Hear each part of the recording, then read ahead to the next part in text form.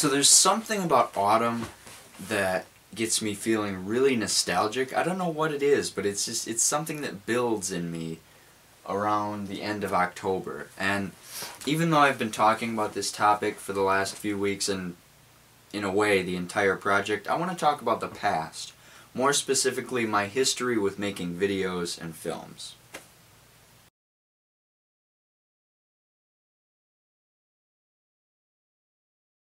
So around third grade was a was about the time I'd say definitively that I decided I wanted to make films and videos for a living. It was something that I really wanted to do.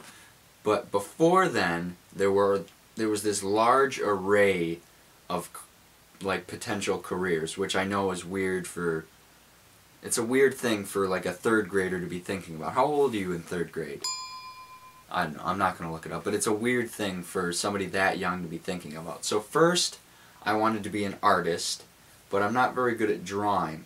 If you look, there's all kinds of drawings in my room. None of them are from, well, one of them is from me, but the most of them are from my brother, and he's a really good artist, but I'm not too good. So first it was art, then I wanted to be a cook, but I wasn't really good at that. I, funnily enough, I did have an easy bake oven, you know, the kind with the, the light bulb, but it got, uh, it got recalled, and so I had to send it back, and all they sent me in return was like a Slinky, which it, it was the crappy kind that broke, like after a week. So that was a little disappointing because those cupcakes that you can make with the Easy Bake Ovens are actually very good. I only ever made one and I dropped it on the floor, but it looked good.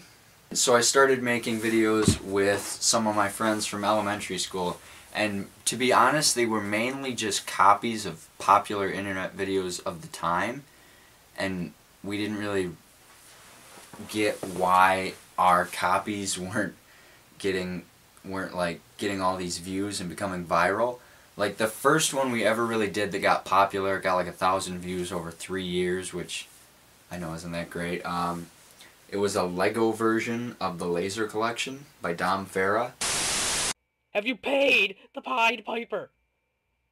It was a really bad version. Uh, and then there was this other one. I don't know if it's still up. There's this paranormal activity parody, basically, where the guy's talking about how there are ghosts in his house, and then a guy runs by wearing like a like a blanket, basically. So we made a copy of that. And then once I got into sixth grade and I met Paul, I thought, okay, it's time to kind of revamp the whole thing. So I deleted all the videos off that original channel. I came up with the name Devil Duck Productions when I was taking a bath and I saw a little squeaky toy. So I changed the name on YouTube.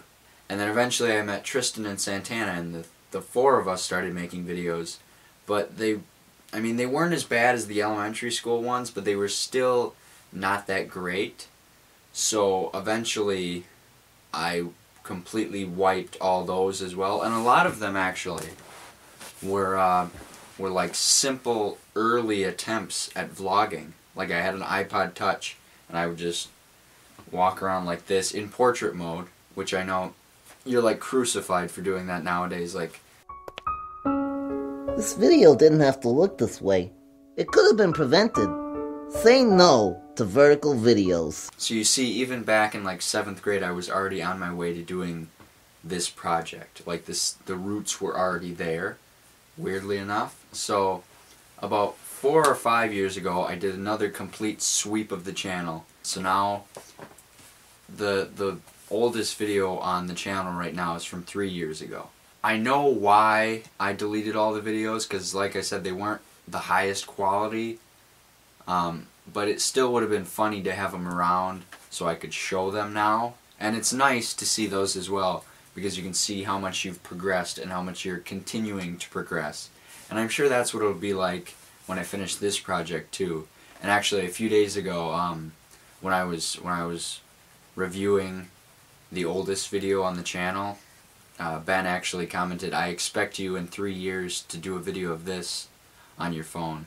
Which I was already planning to do. In like one year and then two years after that, I'm going to go back and uh, do a little analysis of how this project has in any way changed my life and how my life is is is different from 2013 to now to then.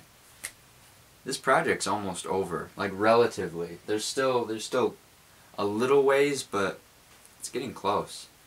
And a lot of people have been asking recently what I'm going to do once it's over. And the scary thing is that I don't really have an answer for that. It's it's scary, but it's also you know, there's a lot I could do.